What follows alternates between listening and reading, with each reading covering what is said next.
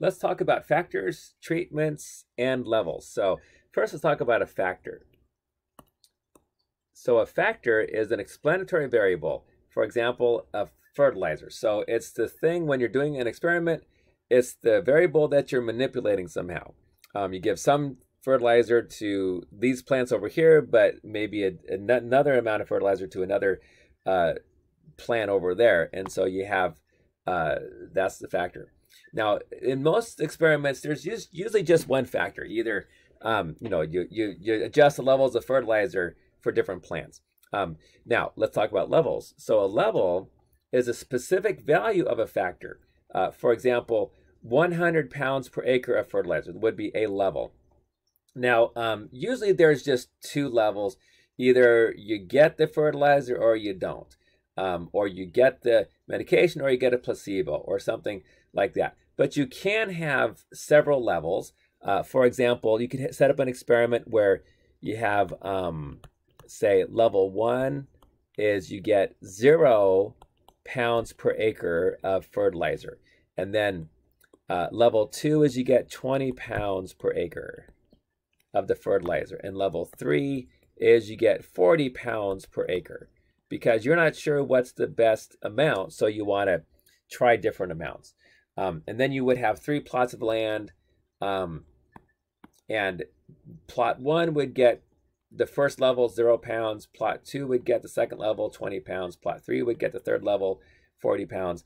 Um, and of course, Everything else would have to be the same. Same amount of sunlight, same amount of uh, soil, uh, condi- or same amount of conditions of the soil, and so on and so forth.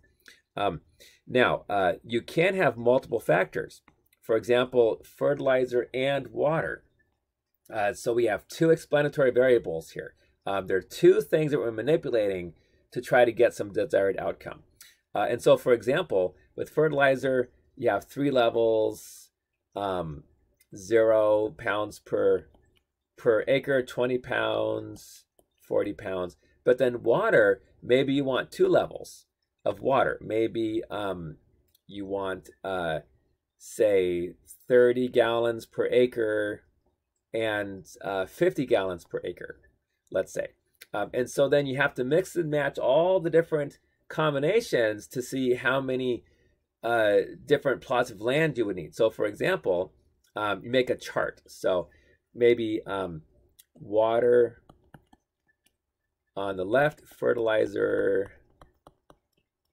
And so you have water, 30 gallons per acre, 50 gallons per acre. Fertilizer, 0, 20, 40. Um, and then altogether you have six combinations. So combination one, no fertilizer and 30 gallons per uh, per acre and that would be maybe plot number one and then the next plot would be 50 gallons per acre of water and zero uh, pounds fertilizer and then the next plot 20 uh, pounds fertilizer and 30 gallons water etc etc okay so um, you multiply the levels together to see how many combinations you have altogether and that brings us to the idea of a treatment. So a treatment is a specific combination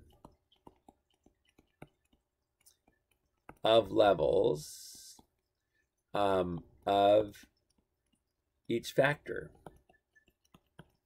Okay, so the example I just gave, we have six treatments all, all together. Uh, now, in many cases, you have just two treatments. You have just one factor like medication with just two levels, the medication or placebo, and that's it in, in very simple designs. But you can have multiple factors with several levels uh, and, and so on. Um, and that's it for factors, levels, and treatments.